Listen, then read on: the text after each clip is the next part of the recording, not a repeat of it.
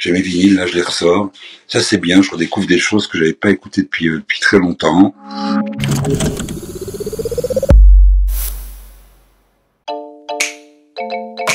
Alors pour moi le morceau idéal pour le petit déjeuner, c'est un morceau de pain avec du beurre. Ça déjà, ça c'est le morceau idéal. non mais euh, en ce moment j'écoute un nouvel album euh, d'une chanteuse américaine qui s'appelle Kim Logan, qui a fait un album qui s'appelle Shadow Work, avec un, c'est le deuxième morceau qui s'appelle Dirty Business.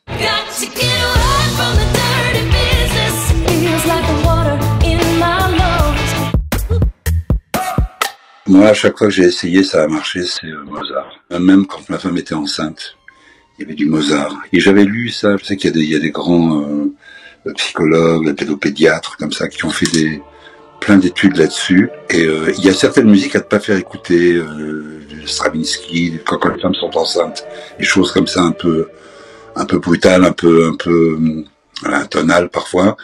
Et mais Mozart, euh, Mozart, j'allais dire que c'est un passe partout c'est un peu réducteur, mais c'est euh, surtout génial, quoi.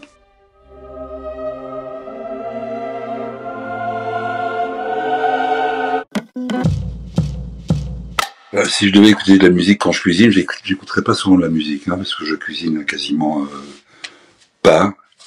Mais euh, je sais pas, une chose comme ça qu'on entend qui soit plutôt agréable. Il y a, un saxophoniste que j'aime bien qui s'appelle Archie Shep, et un morceau qui s'appelle Mama Rose, qui est, très très bien dans un album qui s'appelle Mama Rose aussi. Là, c'est euh, c'est cool, c'est plus pour faire une sieste, mais bon. Mama Rose, Mama Rose. Alors il y a tout, il y a The Family, il y a le Tang, il y a, y a tous les classiques de, de cette évidemment Snoop avec euh, Dre, avec euh, avec Jazz Mattaz, comment s'appelle le groupe qui fait dans R, R, RNC, je, je suis plus grand c'est.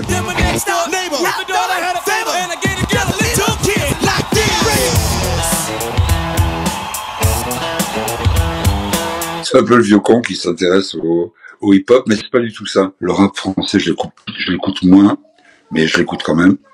Par exemple, je viens de redécouvrir l'album de, ça va vous surprendre, mais de Diams. Voilà, Ma France à moi, euh, la boulette et tout ça. C'est un chef-d'œuvre absolu, ce, ce, ce truc. C'est génial. On n'a pas fait mieux, je trouve. C'est dingue quand on plonge dans le texte. Il y a, y a, une, c'est une vraie, vraie grande artiste. Comme un goût de haine quand je marche dans ma ville. Y a comme un goût de gêne quand je parle de ma vie. Y a comme un goût d'aigreur chez les jeunes de l'an 2000. Y a comme un goût d'erreur quand je vois le taux de suicide. Si vous m'aviez posé la, question il y a 20 ans, j'aurais dit Pink Floyd. Là, je sais pas, des, certains albums de Dire Straits que, que, j'aime bien, Brother in Arms, des choses comme ça, des choses qui sont éternelles aussi, qui restent comme ça, quoi.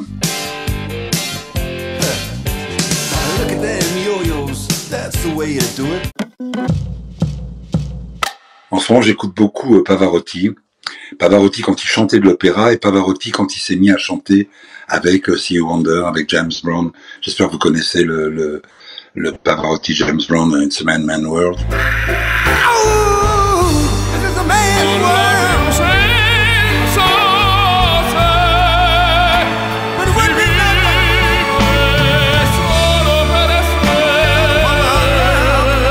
Une voix hors norme. Ça touche le, le divin, ça.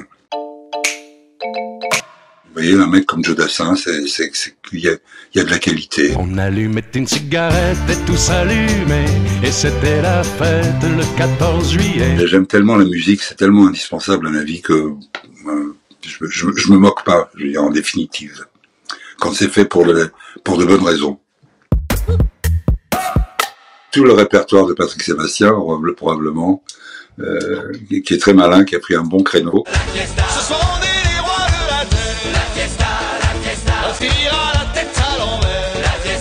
Ah, sérieux, si tu me vois faire une chenille euh, chez moi tout seul, ça va pas ou quoi?